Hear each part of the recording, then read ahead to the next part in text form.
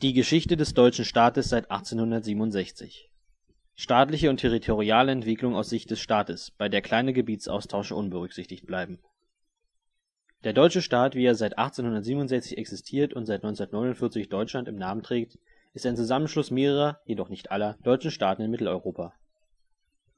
Folgende Namen hatte dieses völkerrechtliche Subjekt bisher: Gegründet wurde es am 1. Juli 1867 unter dem Namen Norddeutscher Bund. Ab 1. Januar 1871 Deutsches Reich (auch Zweites Reich, Weimarer Republik und später Drittes Reich genannt). Seit dem 26. Juni 1943 Großdeutsches Reich (auch Drittes Reich genannt). Seit dem 23. Mai 1949 Bundesrepublik Deutschland (zuerst Bonner Republik, dann Berliner Republik genannt). Der deutsche Staat hatte während seiner Existenz verschiedene Flaggen. Seine erste war 1867 die des Norddeutschen Bundes, welche 1871 die Flagge des Deutschen Reiches wurde. Schwarz-Weiß-Rot: Schwarz-Weiß stehen hierbei für den Staat Preußen. Die Farben leiten sich von einem schwarzen christlichen Kreuz auf weißem Grund des Deutschen Ritterordens ab. Rot steht für die Hansestädte 1919 knüpfte die erste deutsche Republik an die Flaggentradition der Frankfurter Nationalversammlung von 1848 an, die ein vereintes, demokratisches und freies Deutschland anstrebte. Schwarz-Rot-Gold fand auch bereits während der Frankfurter Paulskirchenregierung als Flagge des Deutschen Bundes Anwendung. Die Farben gehen dabei zurück auf die Uniformen des Lützowischen Freikorps während der Befreiungskriege gegen Frankreich. Zudem knüpfen sie an die Farben des Kaisers des Heiligen Römischen Reiches Deutscher Nation in Form eines schwarzen, rot bewehrten Adlers auf goldenem Grund an da viele Menschen die neue Republik für die Niederlage im Ersten Weltkrieg verantwortlich machten, gerieten die Farben in Misskredit. Daher wurden sie nach dem Wahlsieg der Nationalsozialisten 1933 wieder durch Schwarz-Weiß-Rot ersetzt. Jedoch nur kurz, da die NSDAP ihre Parteiflagge, die Hakenkreuzflagge, 1935 zur Flagge des deutschen Staates erklärte. In ihr fand sich lediglich die Farbkombination Schwarz-Weiß-Rot wieder. Nach dem verlorenen Zweiten Weltkrieg verboten die Alliierten sowohl Schwarz-Rot-Gold als auch Schwarz-Weiß-Rot die Besatzungsmächte ordneten 1946 an, dass alle Schiffe zur Identifikation die internationale Signalflagge des Buchstabens C für Kapitulation führen mussten. Blau, Weiß und Rot repräsentierten dabei die Nationalfarben der Westalliierten. Es wurde lange überlegt, welche Flagge die neue Republik tragen sollte. Um die Rechtskontinuität zu unterstreichen, entschied man sich schließlich für die Farben, die sich der deutsche Staat in seiner Form als erste Republik gegeben hatte: Schwarz-Rot-Gold, die für ein vereintes demokratisches Deutschland stehen nach dem Sieg Preußens und seiner Verbündeten über den Deutschen Bund und die Bundestruppen wird der Deutsche Bund aufgelöst. An seine Stelle tritt in Norddeutschland der Norddeutsche Bund bestehend aus 22 deutschen Staaten unter der Führung Preußens. Nach dem Deutsch-Französischen Krieg treten Baden, Bayern, der darmstädtische Teil Hessens und Württemberg dem Norddeutschen Bund bei. Der Norddeutsche Bund wird daraufhin in Deutsches Reich umbenannt. Elsass-Lothringen, das nach dem Krieg von Frankreich abgetreten wurde, wird als Reichsland Teil des Reiches 1890 tauscht das Reich mit dem Vereinigten Königreich die vor Ostafrika liegende Insel Sansibar gegen die in der Nordsee gelegene Insel Helgoland. Nach dem verlorenen Ersten Weltkrieg kommt es zu einer Reihe von Gebietsabtretungen und Volksabstimmungen. Ohne Volksabstimmung werden fast die gesamte preußische Provinz Posen und Westpreußen sowie Teile der Provinz Schlesien an Polen abgetreten. Das Sulziner Ländchen, ein kleiner Teil der preußischen Provinz Schlesien, wird an die Tschechoslowakei abgetreten.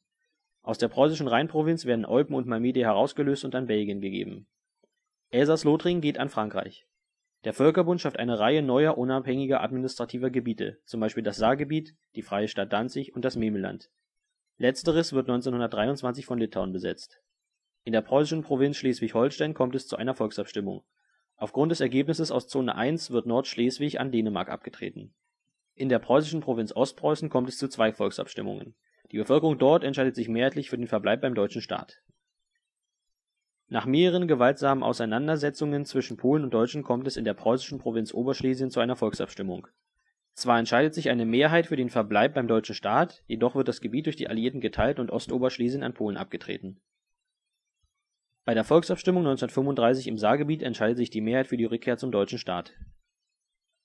Durch die aggressive Außenpolitik der Nationalsozialisten gelingt der nach dem Ersten Weltkrieg von der Republik Österreich und dem Reich geforderte Anschluss Österreichs an den deutschen Staat auf Druck der Nationalsozialisten werden die von Deutschen besiedelten Randgebiete der Tschechoslowakei unter dem Namen Sudetenland an das Reich abgetreten. Nach der Unabhängigkeitserklärung der Slowakei von der Tschechoslowakei wird der tschechische Teil von deutschen Truppen besetzt und als teilsouveränes Territorium (Protektorat Böhmen und Mähren) dem Reich angeschlossen. Auf Druck der Nationalsozialisten übergibt Litauen das Memeland zurück an das Reich Am ersten Tag des Zweiten Weltkrieges erklärt die nationalsozialistische Regierung Danzigs die Freie Stadt Danzig zum Teil des Reiches. Die Republik Polen wird zwischen der Sowjetunion, der Slowakei und dem Reich aufgeteilt. Der Westen der deutschen Hälfte wird über die Grenzen von 1920 hinaus annektiert. Der neu eingerichtete Regierungsbezirk Ciechenau sowie der Zipfel von Suwałken werden der preußischen Provinz Ostpreußen zugeschlagen. Aus Resten der ehemaligen preußischen Provinz Westpreußen sowie der Freien Stadt Danzig und dem annektierten Gebiet wird der Reichsgau Danzig-Westpreußen gebildet. Ostoberschlesien inklusive Erweiterungen werden der preußischen Provinz Oberschlesien zugeschlagen. Zudem wird der Reichsgau Wartheland gegründet. Der Osten der deutschen Hälfte wird zum Reichsnebenland Generalgouvernement. Das Industriegebiet inklusive der Stadt Lodz, die später in Litzmannstadt umbenannt wird, werden vom Reich annektiert. Das Reich annektiert von Belgien das Gebiet von Eupen und Malmedy und stellt somit die Grenzen von 1920 wieder her, erweitert sie jedoch um das Hohe Venn. Luxemburg, Lothringen und Elsass werden zwar separat durch Chefs der Zivilverwaltung (CdZ) administriert, sind jedoch praktisch Teil des Reiches. Theoretisch jedoch betrachtet sie das Reich nur als besetzt, bis sie durch einen Vertrag formell eingegliedert werden. Slowenien wird zwischen Italien, Ungarn und dem Reich geteilt. Die CdZ-Gebiete Untersteiermark sowie Kärnten und Krain werden eingerichtet. Vier Gemeinden im ehemals slowenischen Übermoorgebiet werden dem CdZ-Gebiet Untersteiermark unterstellt. Durch den Krieg gegen die Sowjetunion werden ehemals polnische Gebiete erobert. Im Süden geht Ostgalizien als Distrikt Galizien an das Generalgouvernement, während im Norden das CdZ-Gebiet Bezirk Białystok eingerichtet wird. Der Amtsbezirk Trocin wird vom Reich annektiert. Die Stadt Grodno und ihr Umland werden dem Bezirk Białystok angeschlossen. Am 26. Juni 1943 wird das Deutsche Reich offiziell in Großdeutsches Reich umbenannt.